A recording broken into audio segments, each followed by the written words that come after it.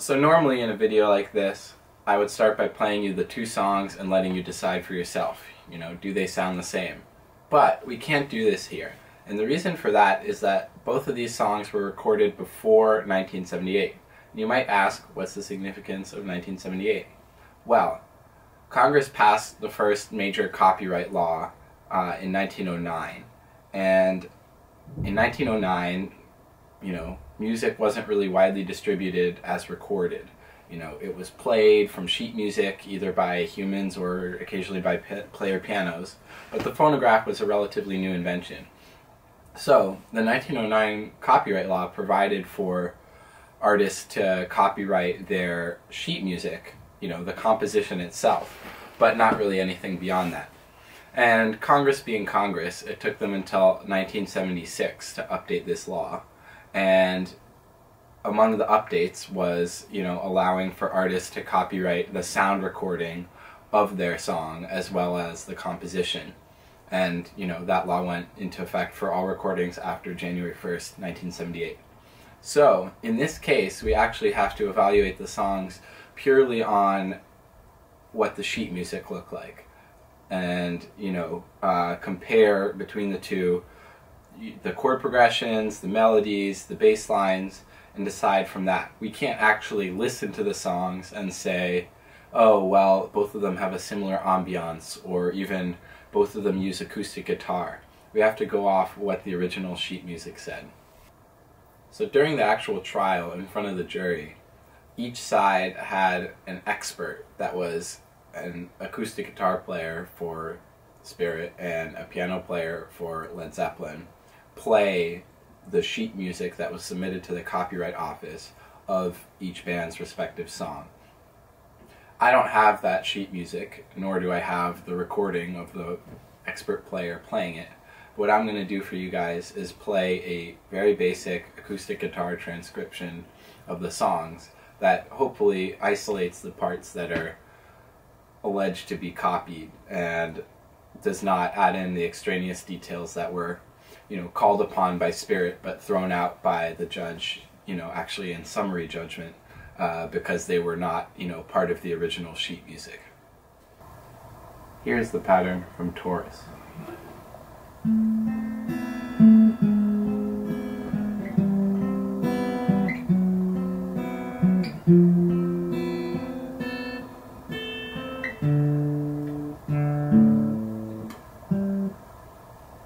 Here's the pattern from Stairway to Heaven.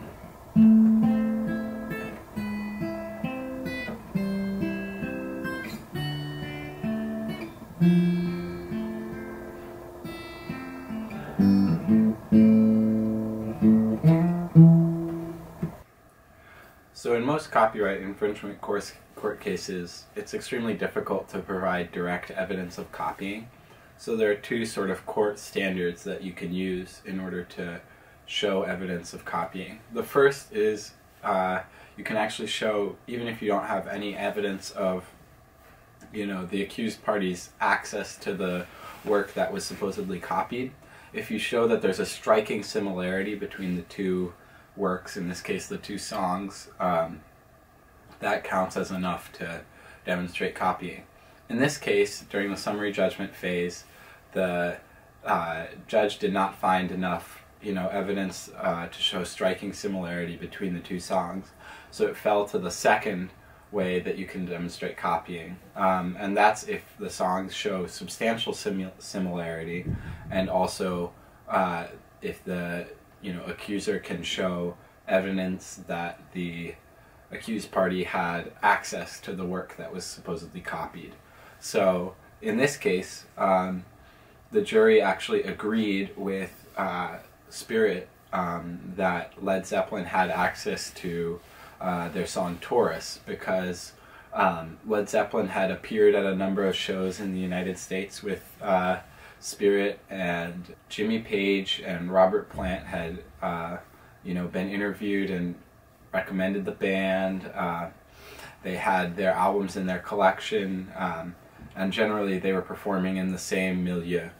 Um, so the jury actually found that yes, uh, there was reason to believe that Led Zeppelin had access to the song.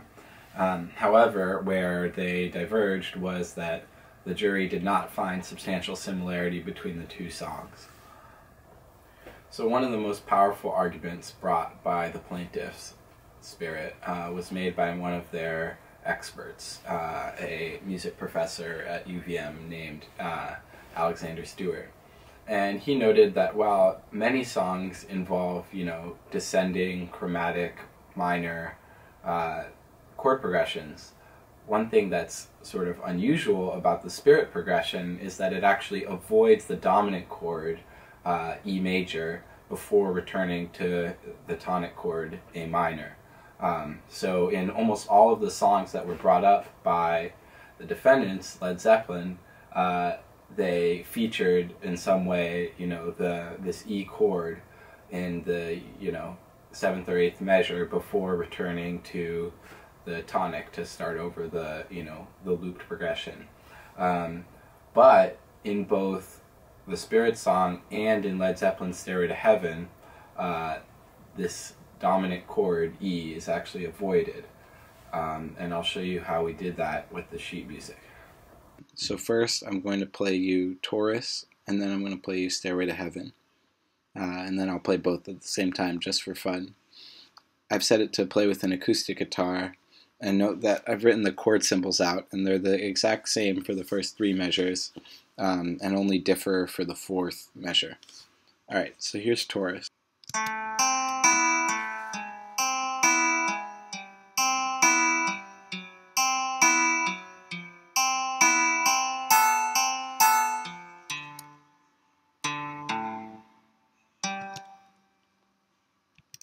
Now here's Stairway to Heaven.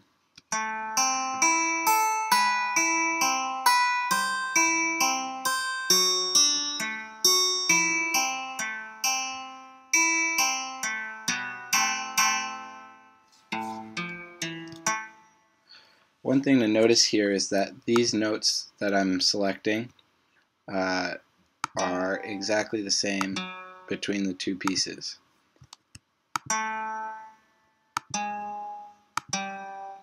This is the descending bass line that um, is sort of the center of discussion. Um, and while the arpeggios may be a little different across the two, um, it's clear that for one, both of them use this sort of repeated uh, C to E note. Um, in Stairway to Heaven, sometimes it's up, sometimes it's down, but it's always in the same spot um, and serves the same function. And then second of all, the fact that we've got these repeating arpeggios as we descend through the same chord progression in three measures. Um, and the fourth measure is different between the two, but what's notable about the fourth measure is that in most songs uh, that feature this chord progression, and in all the prior evidence um, of art shown by the Led Zeppelin folks, um, the artist frequently uses a uh, dominant note uh, an E chord in this measure.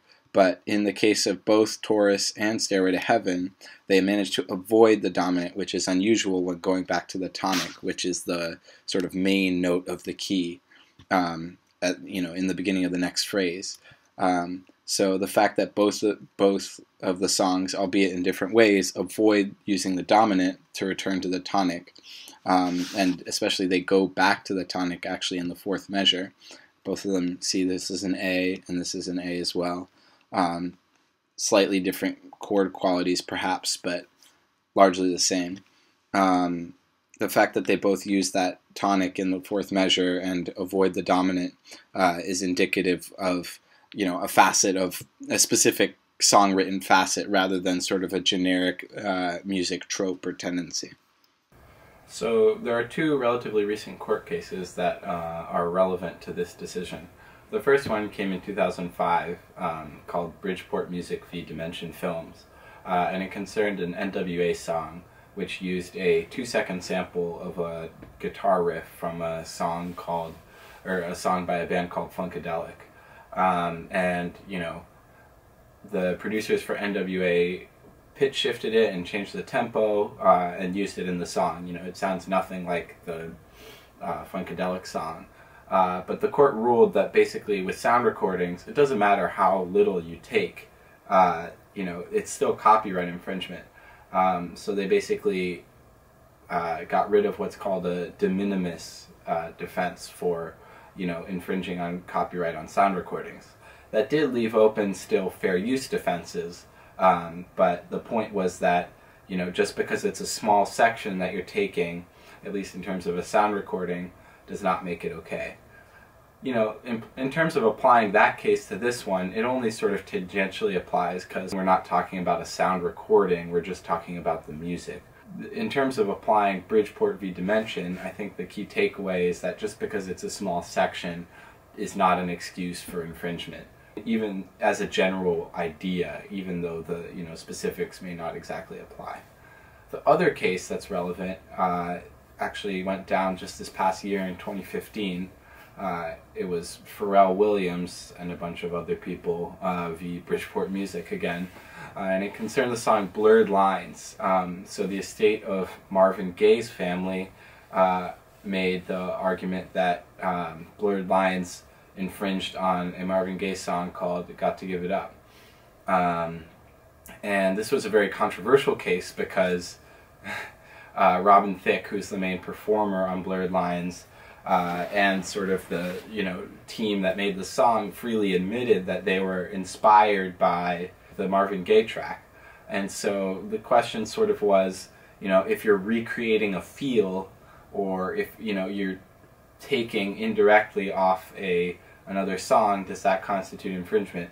And the judge actually ruled in favor of Marvin Gaye, to the surprise of many and the disappointment of many, um, because they said that you know the two works were similar enough to constitute infringement, um, and Pharrell Williams and a host of other people who were involved in making the song had to pay a bunch of money to the family of Marvin Gaye. Um, so that ruling is relevant because the Led Zeppelin case, which was decided in favor of Led Zeppelin, um, actually seems to you know work in the other direction of the Robin Thicke Blurred Lines case because after that case came out, many people thought that, you know, even for the smallest samples and you know the vaguest similarities between two pieces of music, there would be lawsuits. You know, creativity would be stifled, and artists wouldn't really be able to freely draw on inspirations and you know use the inherently limited possibilities of music to create their stuff. Um, so this Led Zeppelin case, in many ways, serves as a counter to that case, in the sense that, uh, you know, even these songs, which to you know most ears bear a lot of similarity, uh, the court decided, rightly or wrongly, that uh, they were not close enough to constitute uh, infringement. So, I think that the Led Zeppelin case sort of reverses the trend that we saw in the Robin Thicke case towards you know lawsuits for the slightest, you know, similarity between songs. Um, so in that sense, it's a good countercurrent and shows that there's still a lot to be decided by the courts on what constitutes infringement, especially in this new age that we have of sampling in music and of, you know, drawing on earlier influences and earlier sounds that weren't really possible in the same ways before. So one thing that you might wonder about this case is, you know, why is it happening now? And that's actually a great question um, because both of these songs were recorded, you know, over 40 years ago. And the answer to that is sort of a complicated one. Uh, you know, I think no one's surprised to know that the members of Spirit heard, you know, Stairway to Heaven during their lives. Uh, one of the most famous rock songs of all time. Um, but the songwriter uh, Randy Wolfe did not bring suit against Led Zeppelin during his lifetime, although uh, you know the plaintiffs provided testimony showing that he was upset by the um, ripoff and or by the alleged ripoff, um, and that he actually had intended to bring suit. Um, but also the other factor here is that Led Zeppelin released a remastered version of Stairway to Heaven um, in 2014, and copyright law includes something called a statute of limitations. Uh, that means that basically any suit uh, has to regard a performance in the past three years or an infringement in the past three years. So because Led Zeppelin released this new version, that enabled the uh, estate of the songwriter uh, to open this suit. And the judge actually agreed with the plaintiffs in, on this front um, during the summary judgment period of the trial, uh, and you know granted them the ability to make suit. Though Led Zeppelin argued that because so many years had transpired, a lot of the evidence that would have been, you know, in their favor uh, had passed for one way or another. Um, so that was another factor in the jury's decision and will be relevant in the appeal of the case that is going to occur. So, in terms of my personal opinions on the decision, um, I'm very sympathetic to Led Zeppelin in the sense that, um, you know, their the suit was not raised until over 40 years after you know the song was recorded, and it's clear that Randy Wolfe did not, you know, take his time to pursue a lawsuit during his lifetime. Um, so it seems to me a bit like this whole lawsuit is a money grab by the estate of the songwriter rather than a genuine quarrel with, you know, by himself. Um, you know, if you look at somebody like Tom Petty, he has re- repeatedly, you know, forgiven artists for uh, infringements that you know other artists might have taken issue with. So it seems like the artist's intent should be taken into account with these issues, even if in this case, you know, you can't really necessarily incorporate that into an actual decision. Um, but I'm, you know, I'm actually really sympathetic to the spirit case as well because uh, I think that there is no doubt that uh, the songs are really quite similar. Um, and since the jury found that their Led Zeppelin had access to Spirit's song, and it seems, you know, quite likely that Jimmy Page heard it, um, I would not be surprised if the song, if you know, if uh, Taurus went into inspiring uh, Stairway to Heaven. And as someone who's written songs myself, one thing that I've found is even if I'm not consciously drawing on something else, I will often compose something and then later go back to it and say, oh, you know, that was clearly, I was thinking of this other song um, while I was writing it, even if I didn't intend to do that. So, um, and of course, intent is never a, a defense in copying. So I think the fact that uh, or the idea that these songs are not substantially musically similar, um, especially in light of the blurred lines case, uh, which was you know decided in favor of the uh, plaintiffs. I think that um, you know this case was wrongly decided, and you know it's possible that there was jury prejudice towards Led Zeppelin, given that there are probably a number of fans you know of the band on the jury, um, and I think also the fact that these songs were recorded before the 1976 Copyright Act also had a substantial effect on the decision in the case. You know, if they had been able to listen to the actual recordings, which carry a very similar ambiance, they both involve finger-picked acoustic guitar with a lot of reverb. Um, you know, they might have had more reason to decide in favor of Spirit because you know there are elements of the recording that aren't you know written down. Um, that you know make the copying even more apparent than it would otherwise seem. So yeah, in conclusion, I I you know dissent from the decision of the jury, but uh, I also am not do not feel a particular sense of injustice on behalf of the plaintiffs, given that they are not you know the original songwriter, and it uh, seems pretty clear that it's just an effort to make some money. Um, yeah, I hope you guys enjoyed this video and let me know in the comments if you have any questions.